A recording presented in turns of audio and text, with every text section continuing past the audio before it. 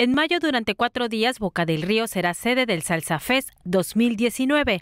Artistas de talla internacional ofrecerán conciertos gratuitos en el llamado Salsódromo más grande de México. En el patio central del Palacio Municipal de Boca del Río se efectuó la presentación del programa del Salsa Fest 2019, la cual fue encabezada por el gobernador de Veracruz, Cuitláhuac García Jiménez.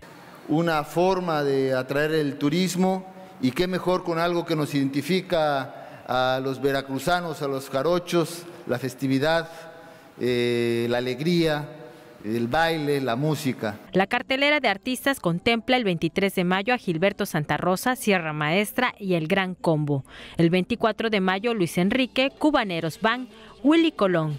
Y el 25 de mayo Víctor Manuel, Oscar de León y Maelo Ruiz. El alcalde de Boca del Río, Humberto Alonso Morelli, destacó la importancia económica y número de visitantes a esta fiesta internacional. Esperamos una derrama aproximada de 250 millones de pesos y un arribo de aproximadamente 240 mil visitantes.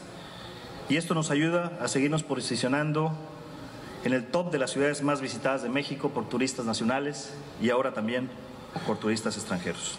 Además de los conciertos gratuitos, se celebrará un Congreso Internacional de Salsa con exhibiciones y talleres de este ritmo. Unos días antes del festival se realizará un concurso estatal de baile, comentó la secretaria de Turismo Xochil Arbesu que habrá tres eliminatorias en el norte, en el centro y en el sur del estado, y la gran final se bailará justamente durante los días del festival y tendremos un premio sorpresa extraordinario.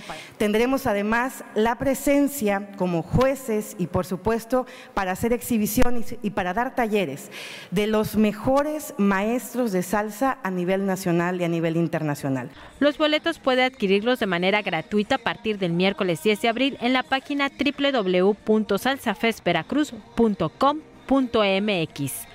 Majalet, que para la Milla RTV, más noticias.